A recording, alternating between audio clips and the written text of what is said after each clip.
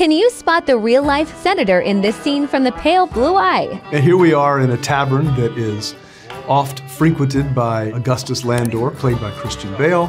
It's my pal Scott Anderson, who's been in a few of my films, playing Benny the barkeep. At the end of the bar, if you look closely, you'll see the new United States Senator John Fetterman from Pennsylvania. Ah, yes, yes. Who's a pal of both mine and, and Christian's.